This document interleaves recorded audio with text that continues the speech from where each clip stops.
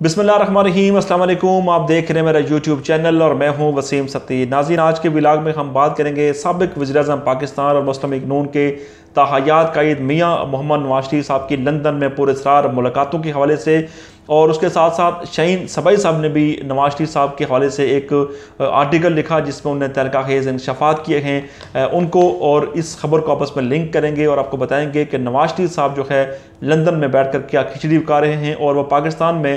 کیا کرنا چاہتے ہیں؟ وہ مریم نواز کے ذریعے اور اپوزیشن کی جماعتوں کے ذریعے پاکستان کو کیسے عدم استحکام کا شکار کرنا چاہتے ہیں؟ یہ تمام چیزیں آج کی ویڈیو میں ہم ڈسکس کریں گے۔ آپ کو یاد ہوگا کہ نواز شریف صاحب جب ملک سے باہر گئے ان کے پلیٹلٹس کا ایشو تھا، ان کی بیماری کا مسئلہ تھا، تو اس وقت یہی خیال کیا جا رہا تھا اور یہ چہ مگویاں تھی کہ نواز شریف صاحب جو ہے وہ ایک ڈیل کے تحت یہاں سے گئے۔ انہوں نے ڈیل کی یا نہیں کی، لیکن نواز شریف صاحب نے یہ اشارے ضرور دیے تھے کہ وہ خاموش رہیں گے اور خاموشی کے ذریعے وہ ملک سے باہر جانے میں کامیاب ہوئے۔ وہاں پر جا کر نواز شریف صاحب بھی خاموش رہے، ان کا علاج بھی نہ ہو سکا اور مریم نواز کا جو ٹویٹر اکاؤنٹ تھا وہ بھی مکمل طور پر غیر فعال رہا۔ اور ان کی غیر موجودگی میں شباز شریف صاحب نے بھرپور فائدہ اٹھانے کی کوشش کی اور وہ جو ایک خلا تھا اس کو پر کرنے کی انہوں نے کوشش کی، لیکن اس میں وہ ناکام ہوئے اور اس کے بعد ان کی ناکامی اس طرح ہوئی کہ جب نواز شریف صاحب جب دوبارہ جب منظر عام پر جب آئے تو اپوزیشن جماعتیں جب اکٹھی ہوئی اور وہاں پر بیٹھ کر انہوں نے خفیہ ملاقاتیں کی، انہوں نے اسٹیبلشمنٹ کے ساتھ ڈیل کرنے کی کوشش کی انہیں اداروں کے ساتھ ڈیل کرنے کی کوشش کی، لیکن ادارے جو ہیں وہ ان کے ساتھ کسی قسم کی کوئی ڈیل کرنے کے لیے تیار نہیں ہیں۔ ادارے اور کسی قسم کا بھی کوئی اگریمنٹ ان کے ساتھ نہیں کرنا چاہتے، کیونکہ ادارے چاہتے ہیں کہ ملک میں فری اینڈ فیئر قسم کا جو نظام ہو اور ملک میں احتساب کا عمل جو ہے وہ آگے چلے۔ اور نواز شریف صاحب چاہتے ہیں کہ ملک میں احتساب کا عمل بھی آگے نہ چلے ملک بھی جو ہے وہ عدم استحکام کا شکار ہو، نئے انتخابات کروا دیے جائیں اور ملک کو دوبارہ جو ہے وہ اسی نیچ پر لا کر کھڑا کر دیا جائے کہ تاکہ دوبارہ الیکشن کی صورت میں اربوں روپے کا پاکستان کو نقصان ہو۔ تو بہرحال نواز شریف صاحب نے جب لب لب کشائی جب کرنا شروع کی، تو اس کے بعد ہم نے دیکھا کہ جس طرح سے انہوں نے دوبارہ وہی گردان انہوں نے جو ہے وہ دوبارہ پڑھنا شروع کی، جو انہوں نے جی ٹی روڈ کا جو سفر کیا تھا لاہور کا، تو جو انہوں نے وہاں پر کی تھی اور کہا تھا جی کہ وہ نظریاتی ہو گئے ہیں۔ نواز شریف صاحب نظریاتی نہ پہلے تھے اور نہ کبھی ہو سکتے ہیں، کیونکہ نواز شریف صاحب کا اپنا جو جتنا بھی ان کا دور اقتدار رہے ہیں اس میں ان کی کسی بھی آرمی چیف کا اگر تذکرہ کریں تو اس کے ساتھ ان کی ان کے تعلقات کبھی اچھے نہیں رہے اور نہ کسی D G I S I کے ساتھ ان کے تعلقات اچھے رہے۔ اور اس کی سب سے بڑی وجہ یہ تھی کہ میاں صاحب کی ہٹ درمی اور میاں صاحب کی ہردرمی کی وجہ سے جو ان کے تعلقات کبھی ٹھیک نہیں رہے۔ اور اگر آپ جنجوہ صاحب کی بات کریں، اس کے بعد اگر آپ اسلام بیگ صاحب کی بات کریں، آپ مشرف صاحب کی بات کریں، آپ رائی شریف صاحب کی بات کریں، اب باجوہ صاحب کی بات کریں تو سب کے ساتھ ان کے تعلقات خراب رہے۔ اور زہر الاسلام عباس صاحب کے بارے میں تو انہوں نے خود ہی کہا جی کہ مجھے انہوں نے کہا جی ہم ایک فوج آ جائے گی اور جو کہانی انہوں نے پچھلے دنوں جڑی ہے، اس کو دوبارہ رپیٹ کرنے کی ضرورت نہیں ہے۔ دوبارہ کہنے کا مقصد یہ ہے کہ نواز شریف صاحب کبھی نظریاتی نہیں ہو سکتے۔ اور جو اپوزیشن جماعتیں ان کے پیچھے اس وقت ان کی امامت میں جو کھڑی ہونا چاہتی ہیں، ان کے لیے، ان کو بھی اس چیز کے بارے میں باہوبی علم ہے کہ نواز شریف صاحب نہ تو پہلے کبھی نظریاتی تھے اور نہ ہو سکتے ہیں۔ لہٰذا وہ ابھی بھی جو ہے وہ اداروں کو دبانے کے لیے، اداروں کو ملائن کرنے کے لیے سارے کنڈے استعمال کر رہے ہیں۔ تین اور چار تاریخ کی درمیانی شب کو لندن میں ان کے گھر میں ایک بیٹھک ہوتی ہے اور اس بیٹھک میں یہ فیصلہ کیا جاتا ہے کہ اب اداروں کے ساتھ ہم نے نمٹنا ہے اور اداروں کو ہم نے آڑے ہاتھوں لینا ہے through social media through electronic media اور اب اپوزیشن جماعتوں کے ذریعے ہم نے پاکستان کے اداروں اور پاکستان کی اسٹیبلشمنٹ کو ہم نے ٹارگٹ کرنا ہے اور اس کے ساتھ ساتھ ہم نے انہوں نے یہ فیصلہ کیا ہے کہ اب ان کے خلاف کھل کر میدان میں آیا جائے گا۔ تو اس کے لیے انہوں نے وہاں پر ایک میٹنگ کی۔ اس میٹنگ میں حسین نواز صاحب بھی موجود تھے اور ہمارے، جب ہم نے لندن میں جب اپنے کچھ جاننے والے لوگوں سے جب بات کی تو انہوں نے یہ کنفرم کیا کہ یہ میٹنگ ہوئی تھی اور اس میٹنگ ایک ہمارے انتہائی قابل احترام دوست ہیں، انہوں نے کنفرم کیا کہ اس میٹنگ میں یہ فیصلہ کیا گیا تھا کہ اب اداروں کے ساتھ ہم نے نمٹنا ہے۔ اس کے بعد نمٹنے کے لیے کیا حکمت عملی اختیار کرنی ہے؟ یہ ایک سب سے عام ایشو تھا کہ بھائی آپ خود تو لندن بیٹھے ہوئے ہیں، پارٹی پیچھے مریم نواز چلا رہی ہیں، ان کے اوپر کیسز ہیں شباز صاحب جیل چلے گئے ہیں فضل الرحمان صاحب یہ کام کرنے کو شاید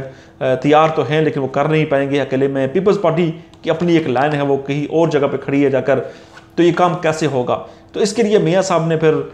جو سب سے بہترین جو انہیں طریقہ اختیار کیا جو کہ اس سے پہلے وہ ماضی میں استعمال کرتے رہے ہیں اور پاکستان کے سیاستدان ہمیشہ یہ طریقہ کار اختیار کرتے ہیں، وہ تھا انہوں نے ایک اپنے پارٹی کے اور اپنے قریبی ان کے ایک دوست ہیں جو کہ اس سے پہلے سابق سفیر بھی رہ چکے ہیں امریکہ میں، انہوں نے ان کے ساتھ ان کو بلایا اور بلا کر ان سے میٹنگ کی اور ان سے کہا جی کہ وہ اس معاملے کو آگے لے کر چلیں اور وہ امریکنز کے ساتھ بات کریں۔ اور انہوں نے پھر ان کو یقین دہانی کروائی کہ وہ ان سے جا کے بات کریں گے اور بات کر کے پھر ان کو بتائیں گے کہ آخر کار معاملات آگے کیسے بڑھ سکتے ہیں۔ اب یہ چیز شہین سبائی صاحب کی جو سٹوری ہے، اس میں بھی یہی چیز ہے۔ اور شہین سبائی صاحب کی سٹوری میں کیا ہے؟ انہوں نے کہا جی کہ نواز شریف نے امریکی سیاسی اور سیکیورٹی اسٹیبلشمنٹ سے